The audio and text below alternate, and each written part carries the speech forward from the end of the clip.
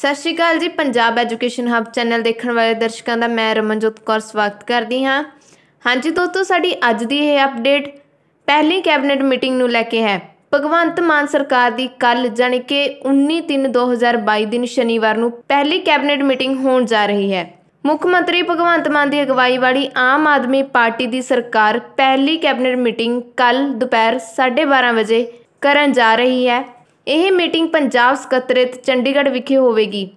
ਬੇਸ਼ੱਕ ਸਰਕਾਰ ਵੱਲੋਂ ਜਾਰੀ ਪੱਤਰ ਵਿੱਚ ਲਿਖਿਆ ਹੈ ਕਿ ਮੀਟਿੰਗ ਦਾ ਏਜੰਡਾ ਬਾਅਦ ਵਿੱਚ ਦੱਸਿਆ ਜਾਵੇਗਾ, ਪਰ ਭਰੋਸੇਯੋਗ ਸੂਤਰਾਂ ਤੋਂ ਜਾਣਕਾਰੀ ਮਿਲੀ ਹੈ ਕਿ ਇਸ ਮੀਟਿੰਗ ਵਿੱਚ ਜਿੱਥੇ ਭਗਵੰਤ ਮਾਨ ਸਰਕਾਰ ਪੰਜਾਬੀਆਂ ਲਈ ਵੱਡੇ ਐਲਾਨ ਕਰ ਸਕਦੀ ਹੈ, ਉੱਥੇ ਹੀ ਦੂਜੇ ਪਾਸੇ ਐਲਾਨਾਂ ਤੋਂ ਪਹਿਲਾਂ ਕੈਬਨਿਟ ਦਾ ਵਿਸਥਾਰ ਕੀਤਾ ਜਾਵੇਗਾ। ਮੰਨਿਆ ਜਾ ਰਿਹਾ ਹੈ ਕਿ ਪਹਿਲੀ ਕੈਬਨਿਟ ਮੀਟਿੰਗ ਵਿੱਚ ਬੇਰੁਜ਼ਗਾਰਾਂ ਅਤੇ ਕੱਚੇ ਮੁਲਾਜ਼ਮਾਂ ਲਈ ਵੱਡੇ ਐਲਾਨ ਕੀਤੇ ਜਾਣਗੇ। ਹਾਂਜੀ ਦੋਸਤੋ, ਜੇ ਤੁਹਾਨੂੰ ਸਾਡੀ ਇਹ ਅਪਡੇਟ ਵਧੀਆ ਲੱਗੀ ਹੋਵੇ ਲਾਈਕ ਸ਼ੇਅਰ ਜ਼ਰੂਰ ਕਰਿਓ ਤੇ ਨਾਲ ਹੀ ਸਾਡੀਆਂ ਨਵੀਆਂ ਅਪਡੇਟਸ ਦੇਖਣ ਲਈ ਸਾਡੇ ਚੈਨਲ ਨੂੰ ਸਬਸਕ੍ਰਾਈਬ ਜ਼ਰੂਰ ਕਰਿਓ।